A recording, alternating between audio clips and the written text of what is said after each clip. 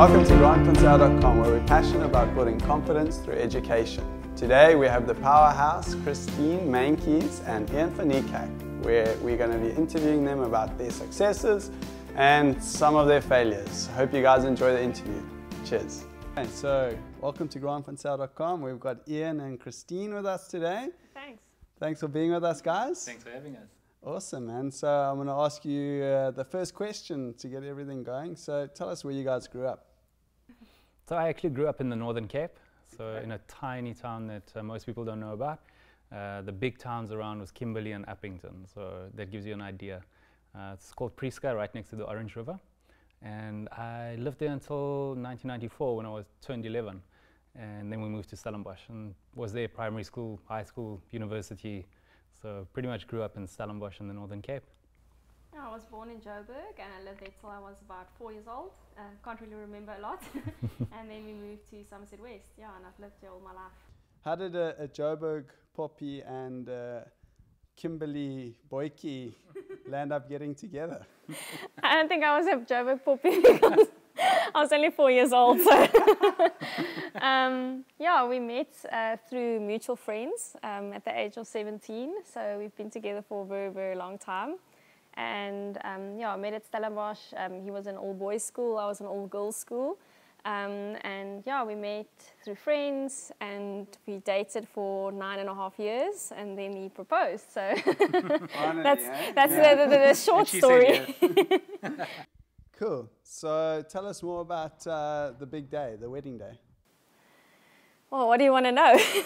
so where did you guys get married? Who did the photos? Uh, well, maybe I should start where we got engaged. Iaan proposed while I, or the day after I shot a wedding in Germany. So Germany has a very close place in our hearts. So we, he proposed there, and then on the flights, it was actually very cool because I had about 12 hours to uh, plan the wedding. Oh, so wow. on the flights, I decided to make the list of the guests, choose all the service providers, and being in the wedding industry made it quite easy. Yeah. So I knew all the people that I wanted to use for the wedding. Um, and when Iaan and I got back the next day, I already contacted everyone and we got married in um, Wellington. It's just outside Stellenbosch um, at Kleine Vallei. And um, the photographs was, were done through a friend of mine who lives in America, Julie Lim. Oh, wow, that's brilliant. Okay, great. And when, when did the two of you first realize that you are passionate about business? For me, uh, there was probably never a time that I was not passionate about business. So it wasn't like a defining moment. I grew up in a, a very entrepreneurial home. Um, my dad, as far as I know, never worked for a big company. You know, it was never climbing the corporate ladder as such. So it was always a, a question of uh, making things happen and coming up with ideas and figuring things out and solving problems. That was that was how I was brought up. And so I've always had a passion for business. There was never a, a question of doing anything other than that. Yeah, I think for me it was a little bit different. Um, my parents were more, I always want to say, more traditional couple, and my dad's worked for the same company all his life. Um, but for me, it was, I think, at the time that I went to study art um, and understanding the fact that I wanted to do something that's creative, I wanted to do something that I'm passionate about. So after school, I decided to do something creative. But with all of that, I also realized that I can't make a living for myself if I don't change the creativity into a business. And that's also when Iaan and I started talking more about like what we want to do with our lives, etc. And he was, I think, one of the big inspirations for me to think about the path of being an entrepreneur. And um, yeah, and taking that creativity and design that I studied and to turn it into something that you can sell to someone. Okay. And yeah, so it kind of started there. So you you two are, are quite an entrepreneurial powerhouse. How, has this always been something that's driven the two of you together? And have you guys, how do you guys complement each other with that? I think for me and Iaan, it's definitely something that drives us. It's funny because we'd go out for like a breakfast on a Saturday. If I don't have a wedding or if I don't have mm. other commitments, it would be kind of like, let's take time off, you know, go to a coffee shop, have a nice breakfast.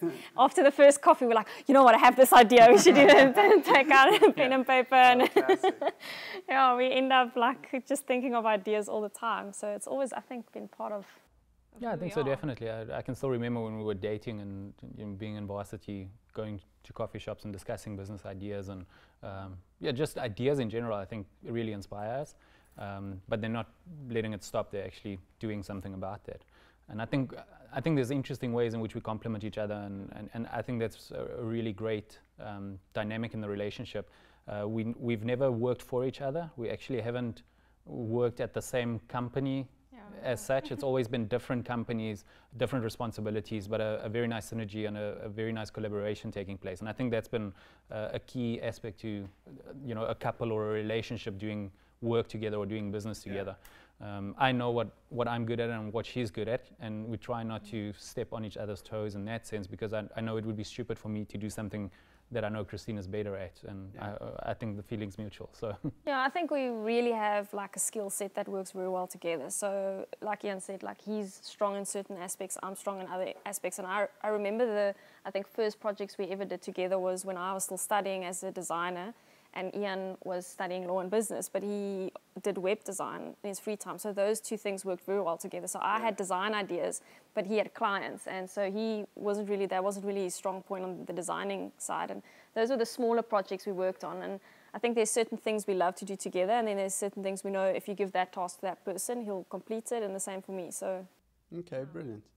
Uh, is is one of you more of an initiator and or a dreamer, or are you both pretty equal when it comes to initiating and dreaming up new ideas? I think it's a very interesting combination. I don't think it's as, as simple as that. So, it, to one extent, Christine is definitely the, the big dreamer, big ideas, uh, yeah. big vision, yeah, uh, big, picture. big, picture. wants to change the world with e everything she does. Um, she'll come up with an idea, and then I'll figure out how we're going to make it happen. Um, but in the same way, uh, th those roles almost flip around sometimes, where um, Christine's much more detail orientated than I am, and I'm much more uh, theoretical, much more abstract, much more about the process and the system and the, the implementation of, yeah. of um, the concepts. Uh, those are the things that excite me really. So it's, it's very interesting. It's a combination of yeah both uh, big picture and detail happening on, on each side, um, yeah. which, which we enjoy. Iaan loves the theory of why things work and how it will work and figuring it out, etc. I really don't care about it. I was just like, let's just do it. you know, so it's like figure yeah. it out when we sleep tonight, but tomorrow morning I want to start doing it. yeah. She'll be doing it, and I'll explain why we're actually doing it like this, and she'll oh, go like, yeah, of course, that's that's what I, that's what I've been doing. I, I really operate on intuition, so I think that's why I don't don't really think a lot about all the theory, and it's kind of like just kind of comes to me, yeah. and then um, yeah, Iaan will figure it out, and then two days later he's like, yes, I think that's that's great, we should do it. I was like, I know. yeah, I think that's. I mean, that's such a great combination. I mean, not many people have that combination yeah. to work with. So that, that intuition that you're talking about, that gut feeling, where where have you derived that from, or have you have you taught? Has it like been built over time, or is it just something that has just always been there? I, I think it's always been there. I can probably think of a lot of theories and like spin it in a nice way, yeah. but it's really just always been there. My mom's the same way. So I've got very good feelings for people, for business ideas.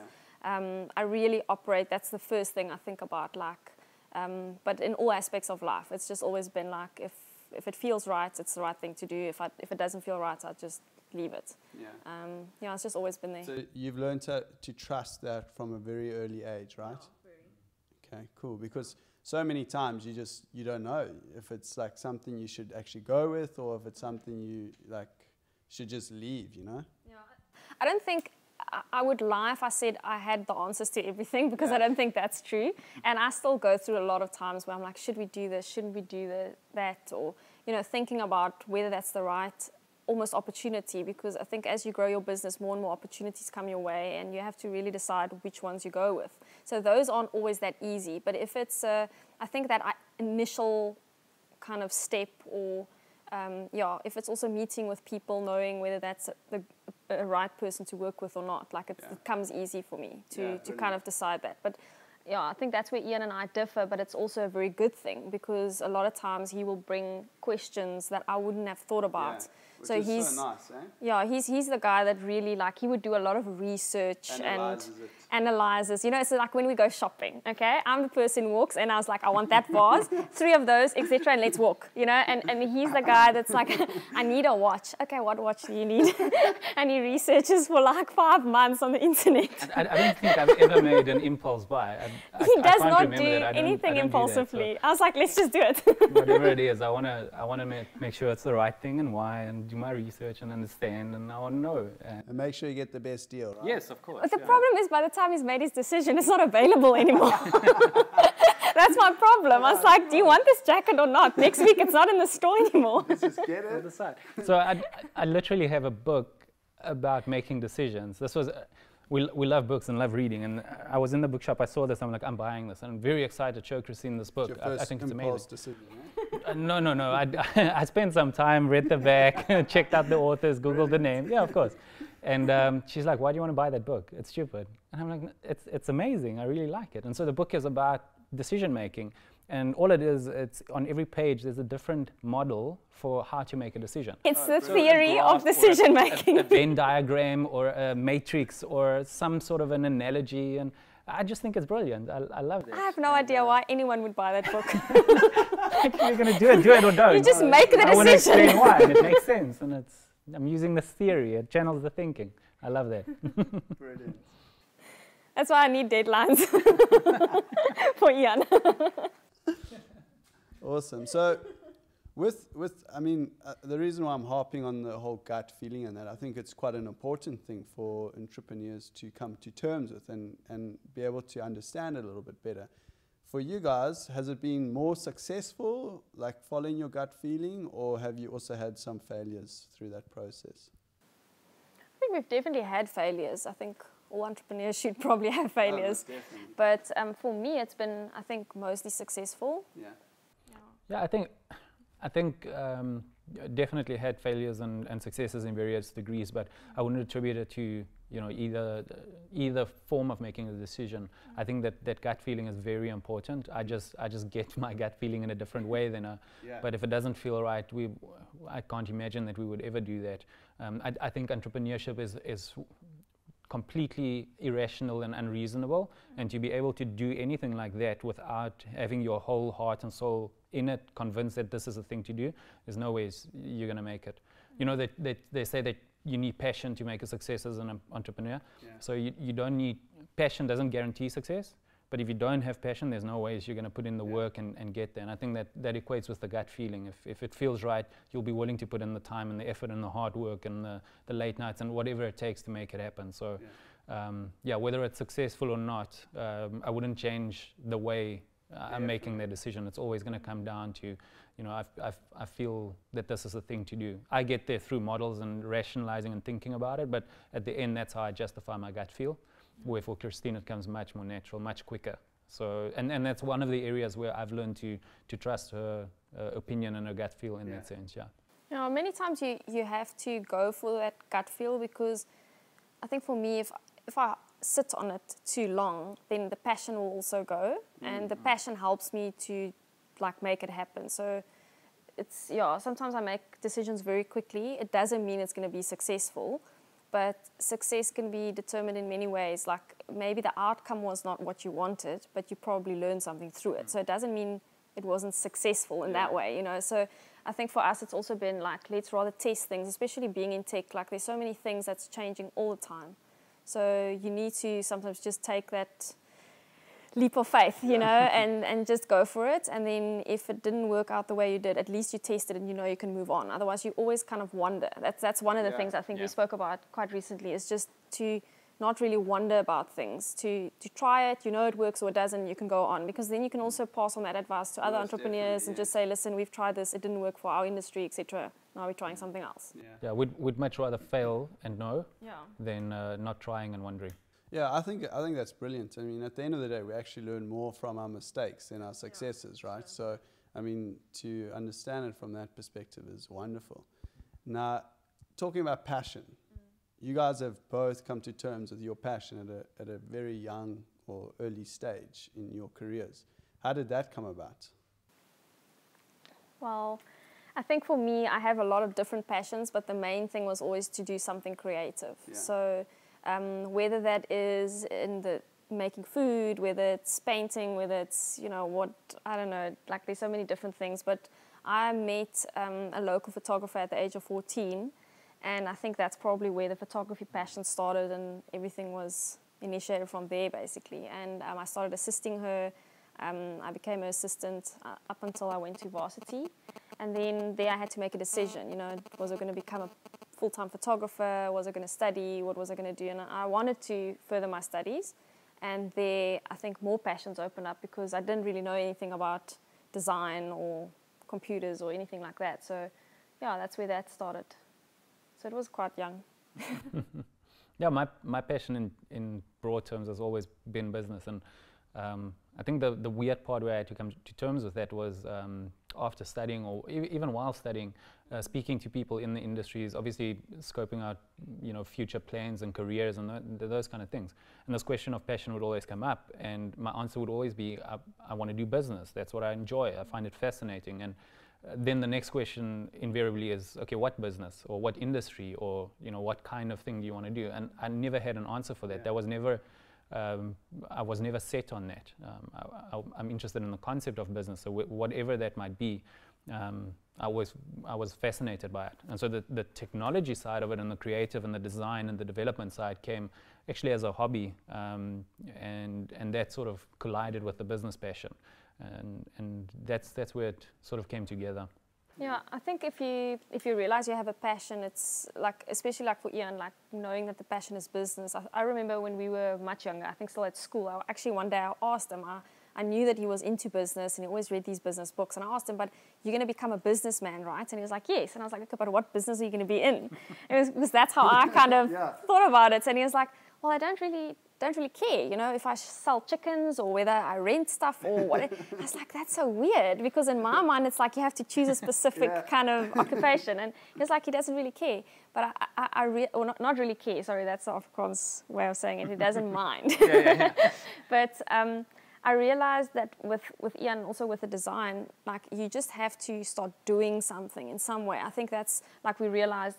I think mm. for a lot of people, they're very passionate about the idea yeah. of business, but they never start. Yeah. And that's a big problem. So I don't think for us, maybe what we're doing now is not what we'll be doing in 20 or 30 years from now, but it's mm. to kind of get a foot in the door, yeah. you know. So for us to start with like small websites, or mm. I still remember um, the other day actually when we were cleaning the house, we came on like boxes of like old invoices. It was so funny, and it's like these old invoices we made for for um, like small businesses and it was like done on wood and it's like these simple simple things yeah. and it was like 200 rand poster for some band you know and i was like 200 rand great you know and but that was just like the foot in the door and it's to kind of start living that passion and as you go forward you start realizing how you can actually do this yeah, I think I, th- I, think actually a very valid point is the, the idea of passion. It, it can almost be um, daunting in the fact that most people don't necessarily know what they are passionate about.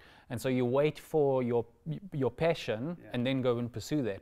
Whereas I think much more the, the reality yeah. is that you discover it as you that's go along. Exactly, yeah. So as soon as you start to do something, that's when you're like, wow, wait, exactly. this makes sense. This makes me tick. This this makes me want to do more. And and so um, the, the passion on my side for technology and those kind of mm. things, that was never part of the picture. Growing up, it was not an option. I mean, the, the, what we're doing now didn't exist in my mind at that age, but I still I was interested in the business side of things. And yeah. as we got uh, into the, the technology side of things, then it became interesting and, and discovered it more and more. Yeah, yeah. It's, it's actually just a road of, of discovery, of like, just taking it as it goes.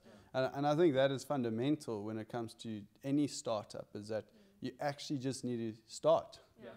You know, I mean, as soon as you get to the point where it's a delay, and you're not going to get going, then it's just never going to happen. And I think that's where the biggest problem comes with most entrepreneurs is that they just don't get started. Yeah. Absolutely. And that's and why you call it a startup. Yeah, you know, it just starts. Exactly. yeah. So it's not a dream up, yeah. Yeah. So a lot of times when I deal with my clients uh, and we and I and I ask them to put together a business plan for whatever idea, idea they have, they're actually very hesitant mm. because it intimidates them and it's just a starting point, you know. And the funny thing is, I'm not even the biggest fan of business plans because it's exactly what you said earlier: is that it changes. as you start, everything that you thought was going to be, it's going to change as you go along. Cool. So, Iaan, tell us more about uh, studying law and you, your CFP as well, and now you're in the tech world. Completely two different spectrums. Yeah. So, uh, the the tech part actually started before the law. So, I had a very small business selling like little jewelry stuff. I think. uh, it was actually so my my, my sisters had uh, not a not a business. They were making little jewels for themselves because they found the place where you can buy at wholesale, yeah. and uh, they could make their own jewelry for cheaper. And um, I don't have any brothers, so obviously very close to my sisters. And I would look at them making these things, and I was it was interesting. And the the business side kicked in, and I'm like, wait, what do you buy it for, and how much, uh, you know, would you pay to, to get one? And oh your friends are interested in having some more. And it turned out I, I, bought all their stock and I started like a little production line and got some friends to, to make these little jewelry things for, for girls. And um, this was now about 1997 I think where e-commerce was like the buzzword. This is now this is the next big thing and uh, so obviously I had to sell my stuff online, you know.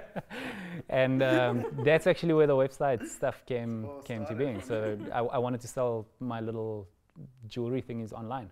Never got around to that. The I, one of my mom's friends got got heard uh, or heard that I'm I can build websites, and so they paid me to do one for them and I made much more money than making little jewelry things and selling it for a few rand. So uh, pivoted, I guess, pursued that wholeheartedly. And then when it came to studying, I, I, wanted to go study business. That was the obvious, obvious choice. And so the, the website stuff was always a hobby, playing around on computer. It was just for fun. And my parents actually suggested to, to study law as well.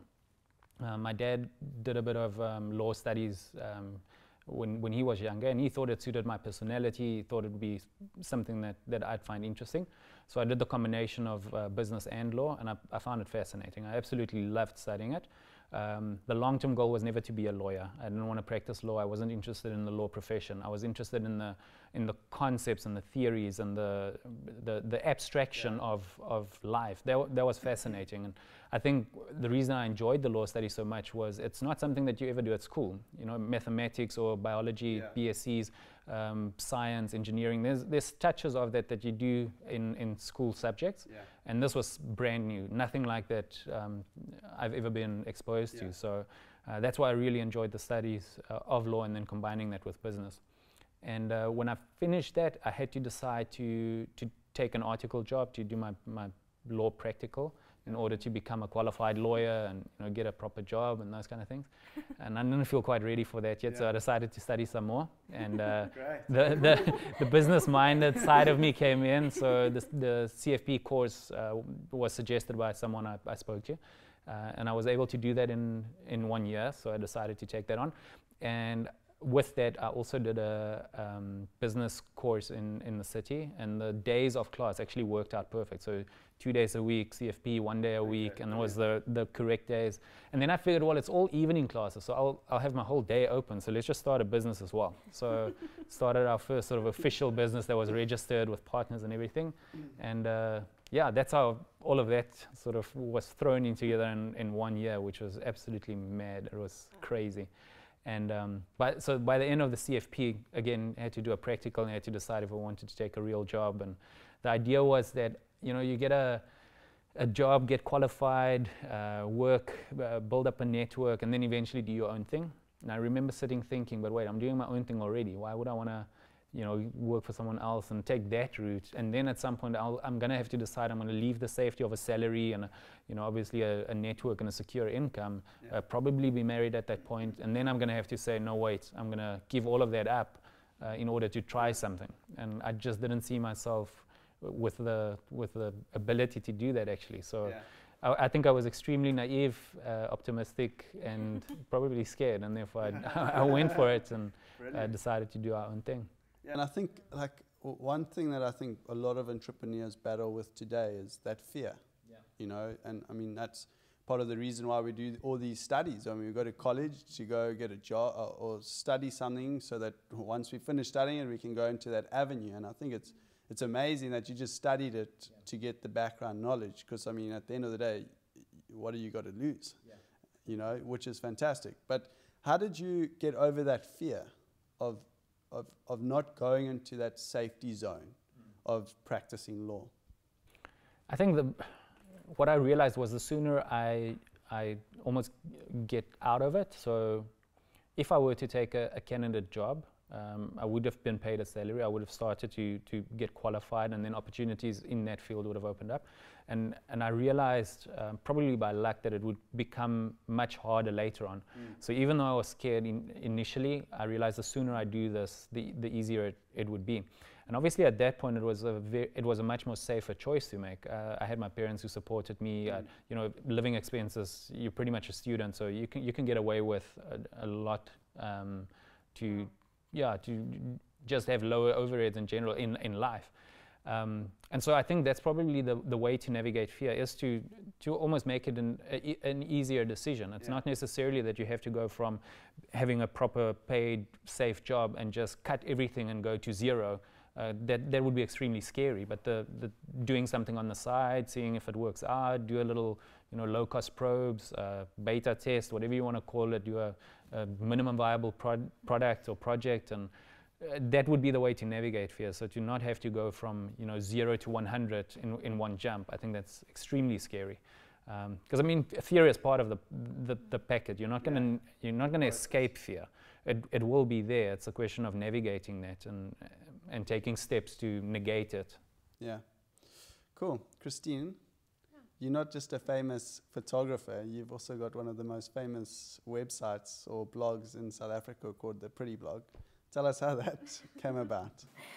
Well, um, I think the first thought about the Pretty Blog happened about five years ago.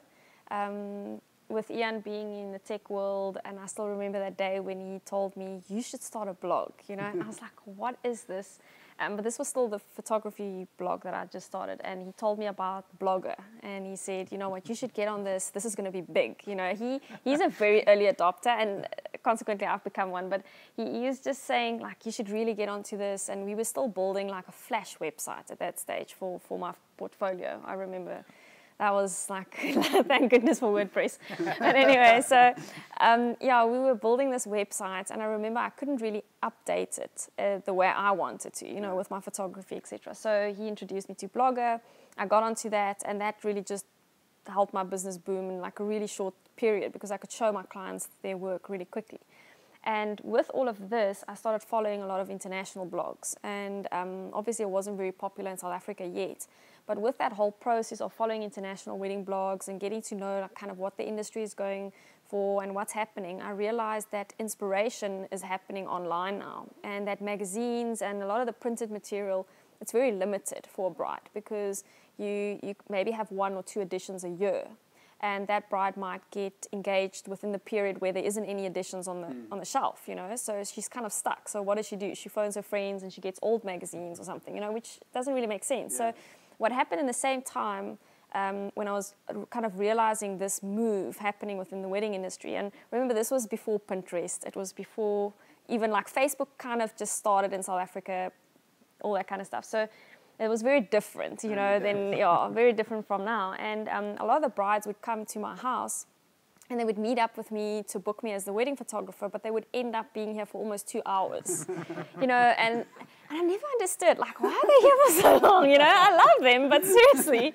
And they'd sit here and they'd go through all the albums and the mom and the bridesmaids, and everyone's like, oh, where did you get these flowers, you know? Oh, where's that venue, you know? And I realized that there was a big need um, for brides to get inspiration, but not just visual inspiration, but also information, you know?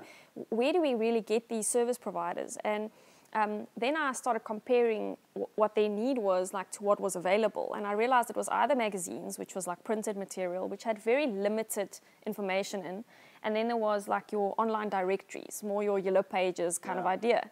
And I said to you, there's just no like blogs like you have in America, and um, yeah, that's how the idea of the Pretty Blog came. I mean, it's it's it's not a new idea. It was yeah. kind of, I think the reason why the Pretty Blog became so big was we were at the right time at the right place, and we were one of the first movers within that space. Mm. Um, and then we started out as a wedding blog um, with my photography and a lot of my friends, and we started moving into the industry. And then um, yeah, then we also decided to move into lifestyle. So now the Pretty Blog has become something that is um, not just wedding. We, we, yeah. we really believe that it, it, starts with wedding, you know. Yeah. Um, that's when girls get really excited about all the pretty things. and then they kind of stick around. They want to like make pretty food. They want to make their home beautiful. And yeah, so that's how it started. Okay, and, and tell us a bit, a bit more about the journey. I mean, you guys literally started from doing just weddings and now you do full on lifestyle. I mean, yeah. your, your website is a full on interactive website with lots of information. How did you guys get so big so quickly? Oh, it's it's a bit of a blur to be honest. it's just been like whoa, crazy. Um, but I think that's where the, the big dream uh, in me, um, it's, I think it's a project that kind of come to life because of my, my big dreams and ideas. Um, but at the stage that I had the idea, I was really busy with my photography and uh, I knew I didn't have the time to, to just put all of that into the blog. So I reached out to a friend, which was actually a, um, one of my clients at that stage, Nicola. Um, and she became one of my co-founders for the Pretty Blog. And yeah. so she was the person who helped me to actually put the content out there. Um, and so she became the editor. And firstly, as I said, you know, it was kind of things we found on the internet that we kind of posted, you know, or just finding yeah. pictures on Pinterest and putting it on there. um, I think a lot of people in South Africa probably didn't know about Pinterest. So we're like, yeah. oh, you can find all these beautiful things, put it on there, you know. and yeah, and within a few months, we realized that um, we can't really do that. We really need to be different. Like mm. if, if we knew that the um, idea of blogs was not going to be um, new for a long time, so we needed to find something that would make us different and stand out. And so um, Nicola and I decided to produce a lot of our own content, just like a magazine. So it was literally the magazine um, business model almost, but for online. Yeah. So we decided to produce our own content. We started reaching out to great service providers, people that we knew would produce beautiful content, and, and that's how we um, how we got this whole model of like contributors on the site. We've got a lot of girls doing DIYs for us. We've got food, and a lot of the stuff we still produce in house as well. But sure. we we kind of use a team. You know, that's yeah. that's how we do it. I mean, there's no way we could do it by ourselves, and that's why I will say the Pretty Blog. It's it's kind of been an industry thing. It's not yeah. just us. I think we drive it. Um, we've created the platform, um, but we need the people out there. We need the people who make the beautiful things to be part of it. Um, and it's just facilitating that, seeing where the industry is going, and making changes and moves. And yeah, so we yeah. kind of become the platform, um, and that's what we do. And we're just always on the lookout for for new ideas, for new people, and yeah. Oh, that's awesome, hey. Now, tell us a bit more about how you guys took the concept of a blog and made it into a profitable business. Because I mean, that's not something that's just anyone can do. So, how how did that come about? How, how much time do we have? I need like a flip chart or something now. It's like, it can get complicated. but uh, I'll keep it simple. Um, I think, yeah, as I said, it's, it's basically, a, I think, a, the model of kind of a magazine. So I think the first thing to, to look at was not to see the pretty blog as a blog, even though it says the pretty blog, yeah. you know but to look at the Pretty Blog as, as a platform and to look at it as, as a publication and to say, okay, if this was really worth what we think it's worth yeah. um, for our viewers or for advertisers, what would we offer them? So it was really to turn what you're doing um, into a product mm. um, and to turn it into something that other people would value. Because if they'd valued it, if they value it, they would be, they would be willing to give us something yeah. in return. Um, and so for, for that it was yeah basically creating a platform that was that had obviously readers. You know that's important is to have your audience. Yeah. um, but then also to make sure that that audience is the right people. Um, we really wanted to niche it towards the kind of content that we produce. We didn't want to say we are the woman blog in south yeah. africa. We wanted to say definitely this target market that's who we are. And we knew if we could penetrate that market and, and make sure that people look at us as one of the top blogs for that specific niche, we knew that all businesses within that niche would be interested in becoming part of, of, our, of our business. So it's a very long journey. It's not, I think for us, it's probably been a very quick journey for what we've done, but it's still been four or five years to get to this point. And um, yeah, to, to change it into something that's profitable um, it's not easy. Yeah. Um, I think for us, it's been there's been a lot of things that we had to consider and change, and uh, especially being in this space, it's quite new. You know, the whole online publishing space, even though it's been around for a while, to make a profit off it is is not that easy. Yeah. Uh, especially if you start looking at brands, they um, maybe smaller brands. You know, they not really they don't really know what the return on online is yet. And it's, it's something that's very new in that industry. So it's been a very big learning curve for us and also a big educational process for the industry. So we really have to go to bigger advertisers and actually educate them about what we do because it's very difficult to explain to someone what is content marketing. Yeah. You know, maybe they've never heard of it or they don't really understand what it is. Um, and in some way, you need to show them what they're going to get for it. So, yeah, it's been an educational process, but it's, it's small steps, you know, and you know, I don't know if Iaan wants to add to. I think I think the in in broad terms, I mean the the whole idea to make a, a, a profit out of out of anything, I guess, is the question of value. Can can you deliver value, uh, and is that value enough for someone else to give you something in return? That's that's the big question, and I think. Um, w- w- our starting point was to say we want to deliver value to our reader. Uh, we believe that's the, the key focus point, and any, any decision we make needs to serve the reader. Um, I, I can fully confidently say that's a very bad cash flow decision Yeah. um, because we, we literally rejected advertisers because we didn't think that this would give value to the reader.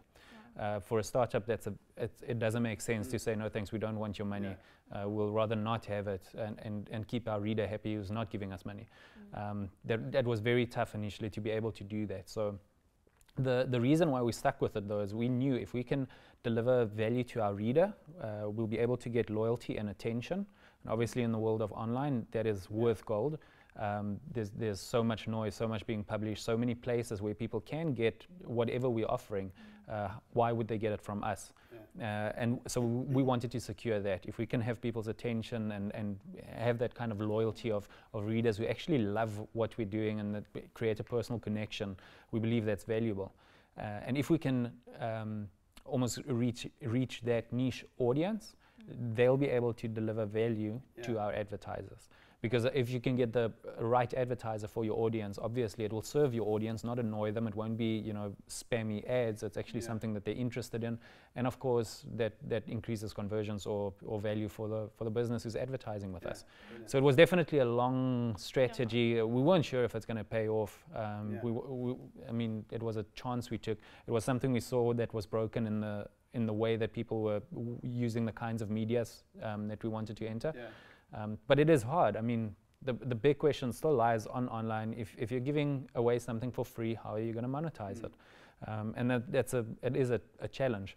Um, the, the key answer is you need to deliver value. Yeah. And so that's, that's always going to be the question with the Pretty Blog as well. How can we keep giving more value uh, to more people uh, in order to get something in exchange? And obviously a monetization model so that that would be money because we've got bills to pay and um, Mm. that's what it takes to, to operate. Um, so that will always be the question going forward, and I think it's going to change quite a bit because I, I, I still don't think the publishing industry has been figured out. I still don't think Yeah. online blogging as a business has been figured out. I think some people are getting it right, some people are s- still in the dark about it.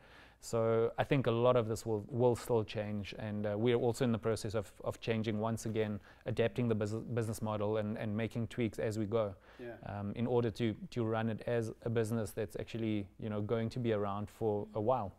Yeah. And in the business that we are in, we have to create content. And like Iaan said, like to produce something that's of value, we always believed in creating amazing content. So with the visual aspect of the Pretty Blog, being a photographer, I think that was quite an easy thing, is to um, reject certain submissions Mm. simply because the photography I didn't feel, you know, fit with what we wanted with to, pro- standard, yeah, yeah. with our standard. So it was always a very, um, like, really picky kind of Yeah. process. Um, but yeah, as Iaan said, like we think it's paying off. Awesome. yeah. So, uh, uh, obviously, this is a, a, a great example, once again, of how passion can change a business from just a normal little business to something that becomes super successful. And Iaan, from you guys, your, your side, the plus plus minus is one of your, your setups. Um, tell us more about plus plus minus and how that came about. Plus Plus Minus is a web development and design company. on the face of it. That's Yeah. that's that's what we're marketing it as. um, what's actually going on behind the scenes is that uh, we we are serving clients and, and creating amazing websites uh, for them. We think the internet needs a lot, a lot of help. I don't think it's it's working as it should. There's a lot of rubbish and it needs a lot of fixing. So it's definitely something we enjoy doing, um, using technology to to serve a business or a, a, a organization's goals, um, and that's how we approach it from a, a client perspective. Okay. But what it allows us to do is to collect expertise, uh, get insights into an industry, and uh, develop technology that can ultimately, you know, serve other businesses or be re- repackaged into into different solutions. So that's the part that gets gets us really excited. So with the Pretty Blog, it's one example because we work so so closely together. Um, we as the development or tech side behind the the Pretty Blog uh, gets to see what are they struggling with, um, what about publishing is hard, uh, what needs to be fixed, um, and how can we add value to a client like the Pretty Blog. And a lot of those answers we can figure out, and we obviously test it with the Pretty Blog goals, um, but it allows us to create technology and, and ultimately businesses that will be able to serve those kind of things. Yeah. So that's that's how it, uh, it came up, or that's what it is now. Um, starting out, it was it was literally me in my in my bedroom building a website for one of my mom's friends. That that was the start of it. Um, it wasn't called Plus Plus Minus back then, but uh, it, it evolved into into this. So going forward, um, how do you guys feel the the future of marketing and all that's going to go towards, or how how do you think it's going to be impacted by blogging or social media? And that is it going to be super important to have all those things included in your business strategy, strategy, or is it something that's not that important? I think it's very, very important. Um, when people ask us, you know, what social media platforms should we be on? You know, should we blog? Should we be on Pinterest? Should we be on Facebook? Iaan always has a very good answer to that. Um, and I'm going to use it now. but that, I'm, But I'm but I- outsourcing this interview right now. but I will give credit to where credit's due. Um, it's it's basically that you need to be on all the platforms that you can um, maintain, because there's no use in having a Twitter account and that you still have the little egg, Yeah. you know, as your picture. um, you should you should definitely only be on the platforms that you can maintain and that you can keep up. And um, actually had a meeting with a business today, and again this came up where they were like, "Don't you know someone that can actually handle our social media?" Because they try to do it in house, but they just don't have the time, Yeah. and it is a full time job. So Yeah. I think that whole idea of marketing within businesses, I think it depends on like which industry you're in. Yeah, But if you're in the creative, especially in the media, um, yeah, anything creative, you definitely need to get on it. But how you do it, I think, is different for each industry and how, how much and how frequent, etc. But I think for the specific industry that we are in, um, it's it's such a great tool to use, and it's it basically comes free. But you need to invest a lot of time and the right strategies, etc., into it. But I really think that it's, you know, for, especially for creative industry, I think that is the way forward. But um, how it will evolve and how people, you know, will um, look at it within five years, I don't know. I Yeah. don't know what the answers are, but I think it's kind of like using it as you go and figuring out how people. I mean, now with Facebook, we've seen a huge change, you know, Yeah. since they've changed their algorithm. So it's also something we're asking at, at the Pretty Blog. You know, is Facebook still the way forward? And I think the idea is to really use it and see like how long is it still going to work for us. Yeah. Um, I, I actually read a, a whole article on Facebook versus Twitter, and they're saying Twitter is going to outlast Facebook because you can you have so much more interaction with people, and it's real interaction, and also you're connected with super successful people. Whereas Facebook is moving more towards this business side, which is pushing people more and more away. I, I don't know. It's just this is just from a personal thing, but I think with Facebook now, when I go on Facebook, it feels so noisy. Yeah. There's so much stuff Clutter. happening, so much Lots of clutter, so much photograph, personal photos, and business, and Yeah. everything mixed. Where with Twitter, it's kind of like more cleaner interface. I really choose who I follow. Yeah. It's I don't know. It feel for me personally, it feels more the way forward. But I don't know. In two years, there might be something else. In five Yeah. months, there might be oh, something No, else. what, what about you, Iaan? What, what platform have you chosen? Well, I'll, in broad terms, if we're talking about social media and marketing, where it's going and the importance of that, I think Christine gave a very polite answer. I'll be a bit more aggressive about it. Um, I, am going to quote uh, Eric Qualman, who, who, used the term, you know, obviously the question is, what's your return on investment? It is hard to do. It's a lot of time. Christine says it's a full-time job. Um, most people don't know or understand, so it's going to take investment. And your, your reaction time is, is, is normally quite slow. It's not like you, you implement a strategy this week, this month, this quarter, and you, you, you see the fruit of it. It, mm. it, it typically takes years and then it works. So what's your return on investment? Eric Qualman says your, the ROI of social media will be that you are still in business. Um, and, and that's what I believe it is going to come down to. If you are in any industry that is doing business with people, um, this type of marketing, let's call it social media for lack of a better word, um, will be the future of the business. Yeah, like an um, online presence sort of thing. It's a, let's call it online presence, presence um, but a, a personal uh, aspect where you're actually delivering value and content yeah. to a very niche group of people, not the masses. Yeah, uh, that is that very targeted, very specific, very valuable. Mm. Um, and I, I, I, don't think you, we're going to have a choice. That that will be the way. The tricky thing about social media, and this is th the secret, is by the time everyone is on a specific platform, you're too late. Yeah. Or it's going to be too hard or too expensive to become big on it. and, and that's where the early adopter in me jumps on things. So um, we were on Twitter early. I, I don't know the exact date. no, I don't think Twitter was around 2006, but it felt like that. Uh, it was like when you met someone that was actually on Twitter in South Africa, it was like, hey, wow, you, you're one of those guys, you know? Yeah. It was very early on. So to, to, to see a return on your investment there was, was pretty much, you know, insignificant. You can't measure that. No You're going to see it. it yeah. No one knew about it. No one used it. I'm going to check those dates because I really think it's 2007 or 6. I'm pretty sure Twitter was not around in 2006.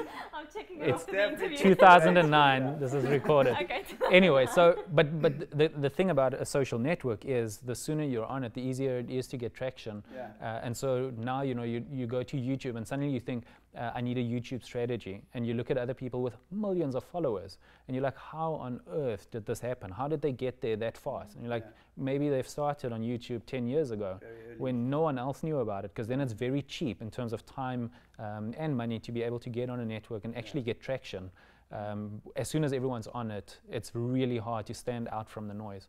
So newer networks like um, Snapchat or whatever, you know, Secret, or there's there's a whole host of these guys coming out so now. So many platforms. Eh? So many platforms, and the question is, which ones do you invest time yeah. in? And the, the the theoretical right answer is all of them. Yeah. If if there's a chance that your potential customers are on that network, you need to be on them. Yeah. And some of these networks, if you look at the demographics, there's there's some of these networks that um, specific demographics are on, like younger generations. They're not interested in Facebook and Twitter yeah. as much anymore. Um, it's Instagram and Snapchat. So yeah. if, if you've got a business serving those people and you don't know you what Snapchat is, you, you're going to fall behind. By the time the big businesses get on Snapchat and everyone knows about it, uh, you're going to be like, oh, I need to get a social media guru to tell me what my Snap, Snapchat strategy yeah. should be. Uh, that's going to be quite late and hard. so that's that's the hard part. It, it, it, does take some figuring out, and yeah. it, it, there's a lot of guessing involved as well, because not all the networks stay around. If you were big on MySpace, you know, you uh, don't exist anymore. Yeah, and, MySpace, and that's why you need to connect with the people behind it. You're not connecting in a, in a specific network. You're connecting with the people there. So if the network moves, the people come with you. Uh, and that's the secret. That's why it should be personal. It should be re relational, and and that's where I believe marketing, uh, not just going, it is there.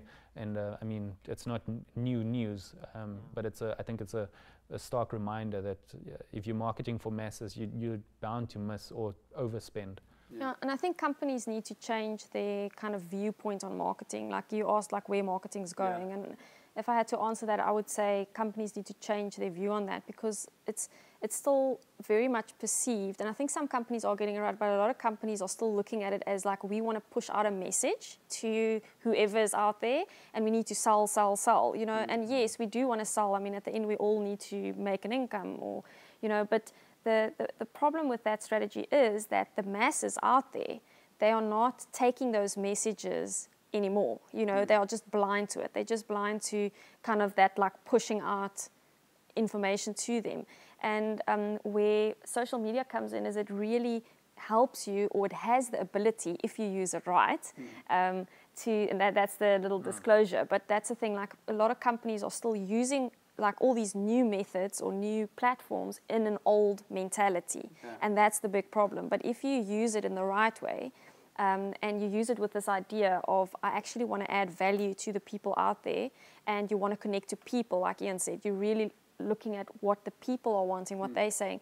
Um, even like a short or small little message on Twitter, you could really make that reader feel or that person feel like, wow, this brand really cares. Yeah. And I think that's the thing. Like people want to feel like brands care. You know, yeah. people want to feel like those that company really is interested in my life. They're not just interested in selling me a T-shirt. They're actually interested in how I feel when I wear that T-shirt. Something Definitely, like that. Yes. And I think that's where people will get it right when they use all of these things for marketing, is if they really care. Yeah. Um, and that's very difficult, especially with bigger corporations. And I think that's why the smaller businesses are actually getting it right yeah. because they really do care. Yeah, definitely. It's going. It's moved from the sales-driven sort of mentality to value proposition yes. mentality. I think the new generation has become way more savvy yeah. when it comes to the salesman sort of approach, and they want real yeah. quality at yeah. the end of the day. And, and, you want people to talk about your business. And I think if you target all those smaller guys, um, yeah. you know, and they, they start talking about you, it will result into sales. Oh, it's, it's inevitable. I mean, Apple is probably the best, um, you know, one to use. So.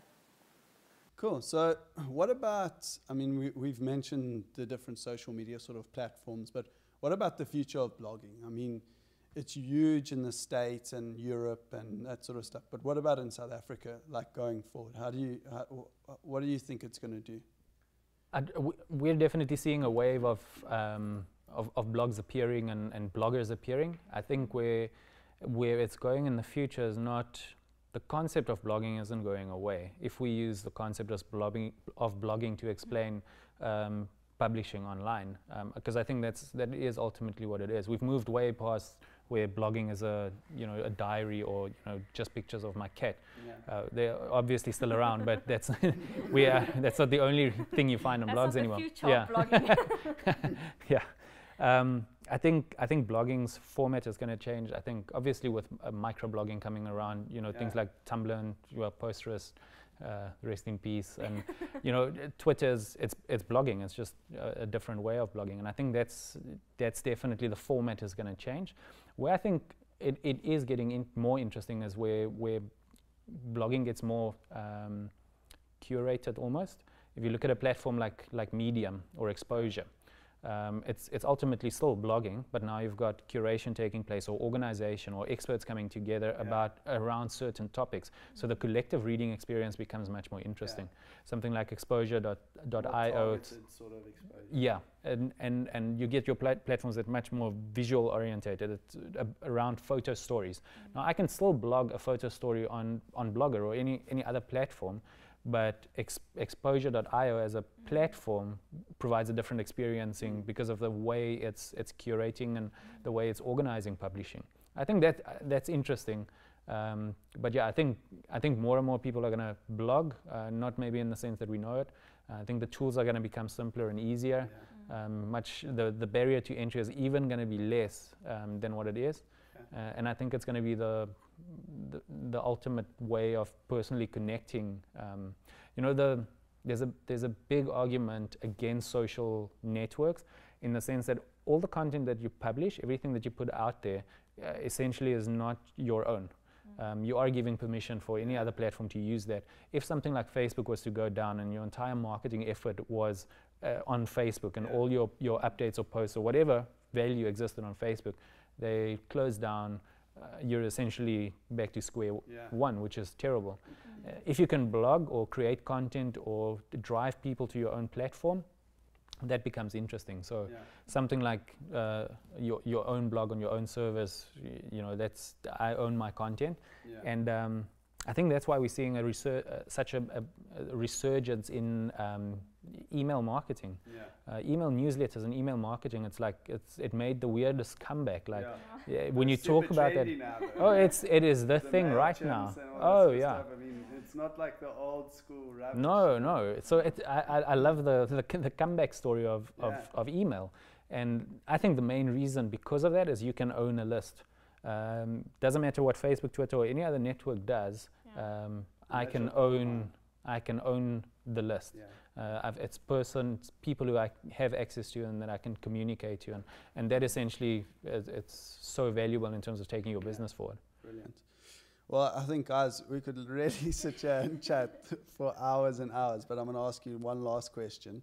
If you had to give any advice to any startups or any young entrepreneurs that are wanting to get going with anything, what would that advice be?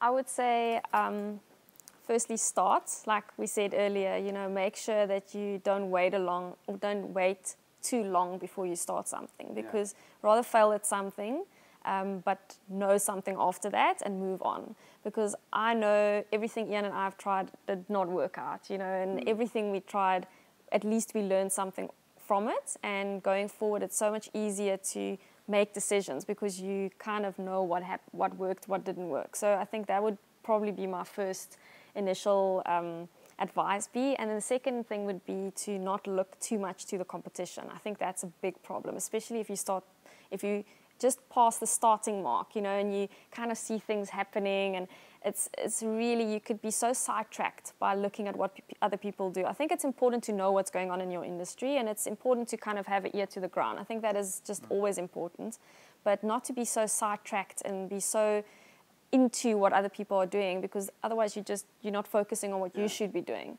Um, so that's something I think Iaan and I always try and do. Yeah. So my, my piece of advice would it's exactly the same as Christine's first one. I think it's the most valuable lesson that anyone can uh, apply is to actually do something. Um, uh, nothing can teach you more than experience. Uh, that's essential. You have to do it. We can throw in whatever cliche, you know, just do it or what. There's there's loads of them, but do something, and whether it works or not, you learn, uh, and that's how you discover. My so that's the the important one. The the other one would probably be to It was right. yeah. the, the other one, w- which which I sh- probably should have applied more in, in, in my life looking back. So this is the one I, I should have learned sooner is to to learn much more from other people, people who've gone before you, people who've got a different perspective than you, people from different industries, people from the same industry, to really learn from um, the mistakes that they've made. You don't. You, we learn a lot from mistakes, but you learn, I think, almost as much from other people, Yeah, peop- other people's mistakes, and it's much cheaper to do that. Much cheaper. And um, yeah, so that that would be the main thing. So and quicker. oh, it's it's brilliant. So any older, younger, different perspective than you, uh, learn from whatever you can from those people. Um, you, you don't have to, you know, reinvent the wheel and, and do everything um, for a first time in that sense. Yeah. Uh, other people mo- most probably have done something similar to what you've done. You might think that you're the, f- the first pioneer to ever attempt this, but pro- Yeah. someone else probably tried it already Most or something similar, and they've Yeah. learned something in the process. Uh, and to, to be able to learn from that is worth gold. Priceless, eh? Yeah, I think when you start as an entrepreneur, I think the great thing is that you you kind of think you know everything, which is awesome because that helps you just to start and go like, I can do this. You know, like how difficult can it be?